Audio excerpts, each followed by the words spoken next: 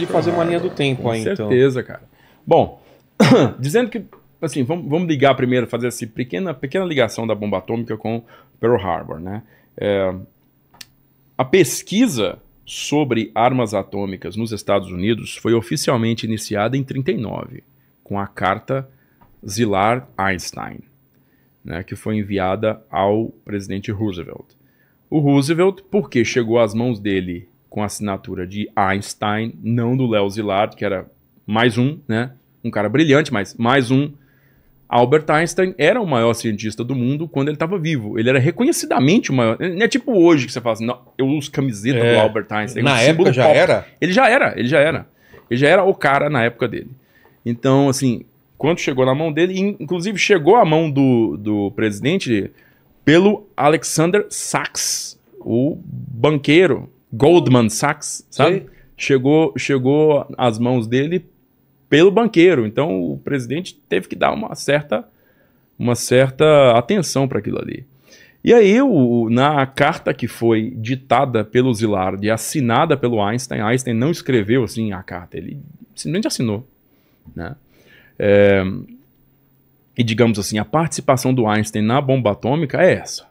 Ele assinou a carta, ele, ele teve uma participação porra, muito importante porque ele chamou, conseguiu chamar a atenção do governo dos Estados Unidos para um lance que era, vamos dizer assim, ficção científica. Era ficção científica. Ninguém, ninguém tinha eh, realmente eh, uma, uma, uma noção séria de que aquilo poderia factualmente ser construído. Era uma possibilidade muito doida que algumas pessoas diziam que essas coisinhas invisíveis que chama átomo poderia resultar, a ruptura disso poderia resultar numa liberação de energia monstruosa.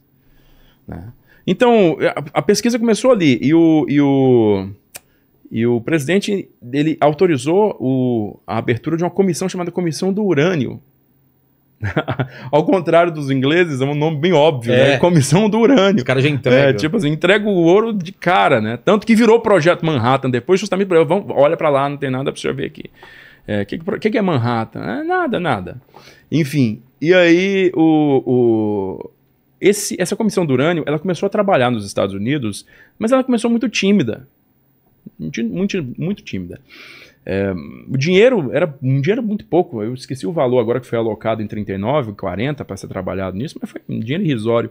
E a coisa realmente só foi engatar depois do ataque a Pearl Harbor. Aí sim começou a fluir, né? É, e, e fluiu mesmo a partir do segundo semestre de 42. Mas, enfim, a relação de bomba atômica com Pearl Harbor é essa. Agora, Pearl Harbor. Tá.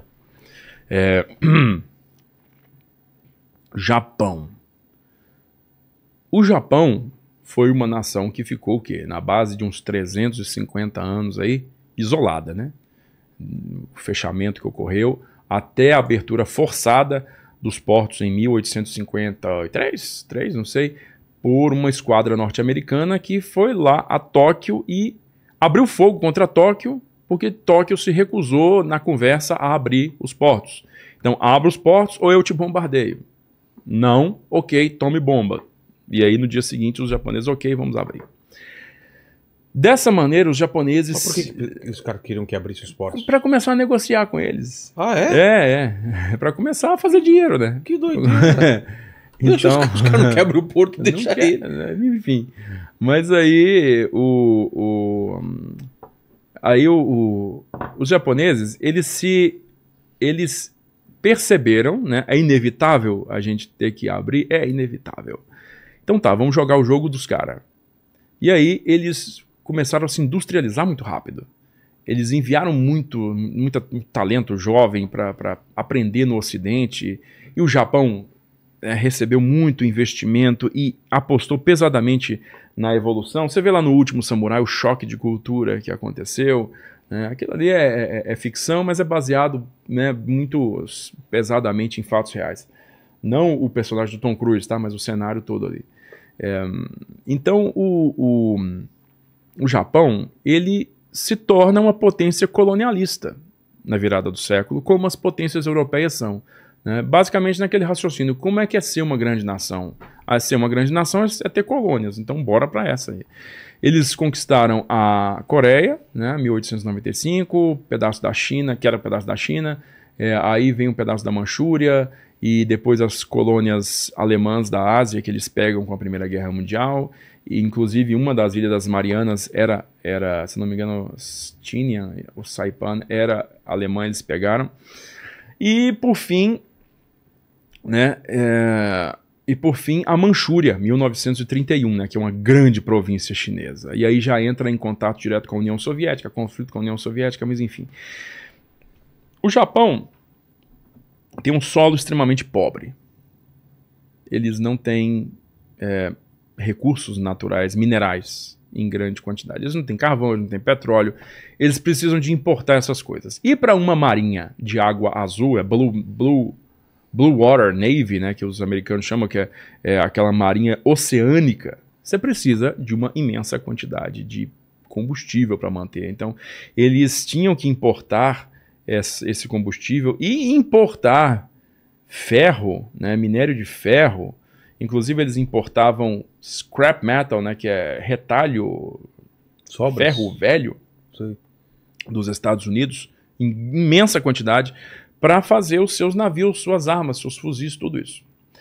É, então o Japão era uma potência, mas era uma potência que vivia na grande, uma grande dependência, né? E aí, sempre na cabeça dos líderes do período militarista japonês, que começa no, ali no começo dos anos 30, é, a, a expansão, né, um movimento para atingir uma autonomia e construir o que eles chamavam de esfera de coprosperidade pan-asiática, que era uma região asiática livre de influência europeia, regida por eles. Né? Troca os, os, as metrópoles europeias por Tóquio. Quase que isso. E aí os, os japoneses eles enxergam duas saídas. Um plano que eles chamam de plano norte e um plano que eles chamam de plano sul.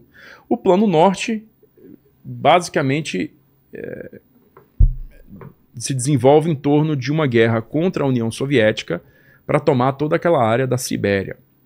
Que tinha algumas prospecções ali já sobre. É, que minérios. mostravam que os, era muito rico em minérios, né, ferro e petróleo também.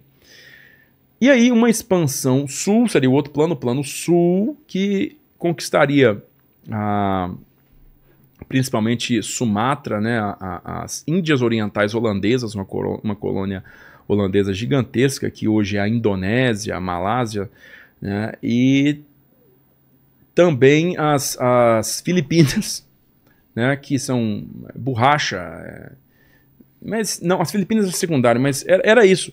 Era conquistar esses. esses é, a, não, desculpa, a borracha mesmo viria da Malásia. Malásia era britânica. Então, Malásia britânica, a Indonésia, que era holandesa, que na época se chamava Índias Orientais Holandesas, era rica em petróleo. Tá? É, então, particularmente, o interesse era esse: Malásia e, e Indonésia. Né? Os japoneses achavam que isso era uma luta fácil, tranquila, porque, cara, principalmente com a Alemanha fazendo o que estava fazendo na Europa com os ingleses em 1940, né, tinha resto defendendo aquelas áreas ali, né, aquelas colônias. Resto de tropa, resto de, de efetivo, de navio. Então eles davam conta facinho daquilo. Problema é, o problema é, se você puser uma foto, uma, um mapa da, da Ásia aí, põe um mapa da Ásia, mapa do, do mar, mar do Sul da China, por exemplo, ou é, naquela sudeste da Ásia, Southeast Asia, é, tem um, uma pedra bem grande no sapato do Japão, chamado Filipinas. Porque as Filipinas eram o que basicamente a gente pode considerar como uma colônia dos Estados Unidos. Desde a guerra. Aí, aí, ó, desde a ah. guerra hispano-americana. O Japão tá ali em cima, tá meio que quase invisível ali, mas eu não ah, sei é. porque ele tá tão pequenininho. Mas o Japão tá ali, né? E você vê aqui embaixo a Indonésia de verde, não é isso? É. Você vê a Malásia ali de azul, que era britânica, né, e a Indonésia de verde, que era a, as Índias Orientais Holandesas. Então, do Japão, as, olha a, a, linha de, a linha comercial que deveria existir, a linha de suprimento que deveria existir para borracha, e, e- e borracha e petróleo. Deveria passar pelo mar da China Oriental, lá para cima, né? Taiwan já estava ocupada pelos. né, Na época chamava Formosa, né? Já estava ocupada pelos japoneses. Só que ali no meio, olha só que coisa, no meio tem as tais das Filipinas. E os americanos, como sempre, né, tem lá seus esquadrões de, de bombardeio de longo alcance ali nas Filipinas, colocando a faca no pescoço do Japão ali. Então, qualquer ação que os japoneses pudessem tomar contra essas colônias riquíssimas e mal, de- e mal eh, defendidas em 40 a 41, no sul da Ásia, aqui no sudeste da Ásia, na verdade, seria inevitavelmente Interceptado. é, prejudicada, interceptada pelos americanos ali nas Filipinas. E começar qualquer ação dessa com os americanos posicionados ali nas Filipinas e com certeza né, recebendo reforços a cada semana que se passava, era basicamente condenar o plano desde o começo. E aí que eles pensam no seguinte: e que tal a gente fazer o seguinte? Vamos liquidar a marinha deles numa tacada só. E aí a gente conquista esse negócio inteiro aqui, assim, a toque de caixa mesmo, rapidão. E depois a gente vai conquistar uma área tão grande, tão grande, tão grande, que eles vão ter que negociar com a gente. Eu não sei se soa muito, assim, factível, né? É. Mas foi o planejamento na época. Eles vão ter que negociar com a gente. Porque a área vai ser tão grande, eles vão ter que negociar com a gente. Bem, esse foi o plano. Eu não sei se foi o melhor dos planos, né? A longo prazo. Se fazia sentido a médio ou longo prazo. Mas tocaram o foda-se porque estavam numa situação também que não dava para continuar. Os americanos, desde 40, tinham é, basicamente feito o que estão fazendo com a Rússia agora. Eles é, congelaram os, os- os ativos no- japoneses nos Estados Unidos, cessaram a exportação de petróleo e metal para os japoneses e disseram que só iam restaurar isso aí se eles saíssem da guerra deles na China. Aí o japonês, como assim sair da guerra na China, cara? Não posso sair da guerra na China, eu vou ser humilhado no mundo inteiro. E aí o japonês falou: a única alternativa que eu tenho é destruir a esquadra norte-americana em Pearl Harbor. E aí eles montaram esse ataque. né? Fazia sentido isso de destruir em Pearl Harbor? Fazia, fazia É. porque, porque é o seguinte, é, foi um sinal também, muita gente foi contra isso em 1940, ou começo de 41, não me lembro a data precisa agora, foi um sinal de provocação, os japoneses entenderam como sinal de provocação a mudança da frota, né, da esquadra, de- da base dela de San Diego, na Califórnia, para Pearl Harbor. Ah, tá. Então eles avançaram a esquadra inteirinha para o meio do Pacífico. E aí isso foi tomado com os japoneses como uma Um provocação. sinal, né? Ê! Então vocês não estão querendo resolver a questão na base da conversa com a gente. Aí, aí eles montaram esse ataque, foram seis porta-aviões, só quatro realmente efetivamente é, atacaram os outros dois, os Uikaku e o Shokaku, acabaram só dando proteção para a esquadra. Né? É, e eles, é, na surdina, zarparam do Japão, silêncio de rádio, e foram para o norte do Havaí. E na manhã do dia 7 de dezembro. Ele- como que eles iam voltar, Quem? aos japoneses? Os japoneses? Não, os aviões atracaram, ou, desculpa, os porta-aviões atracaram a cerca de 300 quilômetros ao norte do Havaí, os porta-aviões. E os Estados Unidos não, não identificou isso daí. Hum, Tem essa história, né? Tem essa conversa. Tem essa conversa. Tem muita gente que não identificou sim e deixou acontecer, É. né? E Esse tem a papo, galera né? que não, isso aí não, isso aí é conversa fiada dos caras que querem modificar a história. Eu não vou botar os ovos nem numa cesta nem na outra. Eu, honestamente, Tinha capacidade de, de saber. Tinha. O que se diz hoje é que sinais apareceram, mas não houve conclusão. N- n- não, havia, não havia uma pista conclusiva. Entendi. Né? Eles não, tipo assim, os japoneses não transmitiram assim, vamos atacar Pearl Harbor na manhã do dia 7 de dezembro. Quase como se fosse isso. Tá? É, mas eu não vou colocar, o, Tá. não vou bater martelo, não. Eu não sei. Honestamente, eu não sei. É, mas eles, eles partiram ao norte do Havaí, 300 quilômetros ao norte, e atacaram em duas grandes ondas a esquadra é, atracada no Havaí. E foi, foram pegos totalmente surpresos. É, isso aí, Não sem teve- dúvida. Não teve defesa. Se havia, se havia um alerta, foi que foi se havia um alerta que foi recebido. Esse alerta foi recebido lá em Washington, né? foi repassado para os esquadrões, para os escalões superiores e foi parado lá. Entendi. Não foi repassado localmente para o comando do Havaí, nem o comando naval, nem o comando do exército. Então, esses dois caras, o general Short e o almirante Kimmel, foram pegos de surpresa mesmo. né? Inclusive, foram feitos bodes expiatórios. Ah, foram é? demitidos depois. né? Então, o, o, a, a esquadra foi pega de surpresa.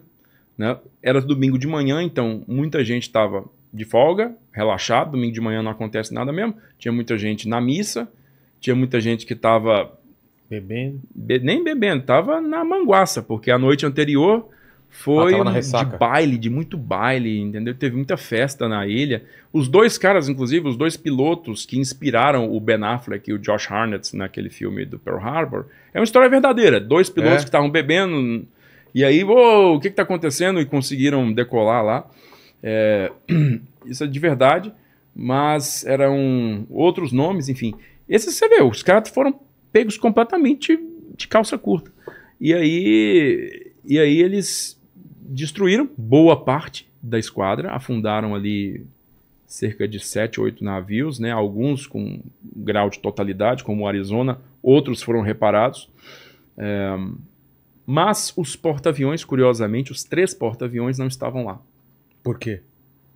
tinham sido enviados para transportar, é, é, transportar aeronaves para, se eu não me engano, a ilha de Wake, que fica ali no meio da, da- do Pacífico. Ali. Se tivessem lá, era outra história. Era outra história, porque você pega três porta que eram alvos prioritários, inclusive. Eram alvos prioritários dos japoneses, eles poderiam ser pegos e aí sim os norte-americanos estariam sem qualquer capacidade ofensiva no Pacífico por uma boa parte de um ano Sei. né? mas não foi o caso. Os três porta-aviões acabaram, é, acabaram escapando. Então, o, o- o cenário é, é, os, os japoneses fazem dois ataques, o almirante Nagumo, que é o comandante da esquadra, se recusa a fazer um terceiro ataque, muito embora ele foi alertado que os depósitos de combustível continuavam lá intactos. Ele poderia ter feito um terceiro ataque para destruir esses depósitos de combustível e realmente acabar com, com- com qualquer chance de, de- de- médio prazo dos, dos americanos em fazer qualquer tipo de ofensiva, né? Atrasar pelo menos algumas semanas ou meses alguma reação, mas não, ele deixou com medo de que a esquadra fosse localizada, ele, ele voltou com ela para o Japão. Né? Então voltou com ela para o Japão. Os japoneses perderam cerca de 25, 29 aviões, que é irrisório para o tamanho do dano que eles causaram. Né? O, os- no dia seguinte, o Congresso se reuniu, que era uma segunda-feira, e o Roosevelt vai lá no Congresso e, e manda aquele discurso histórico lá, né? Que ele pede que esta casa declare guerra ao, ao Império do Japão e tal. Então, aí a partir dessa data, os Estados Unidos, de forma oficial, ingressam na Segunda Guerra e aí Aí muda tudo. Muda tudo. Realmente aí muda tudo. Um dos primeiros apoios, inclusive, que, que os americanos recebem é justamente, que o Roosevelt recebe é justamente do Vargas, né? Ah, É um telegrama do Vargas mostrando solidariedade ali à, à causa.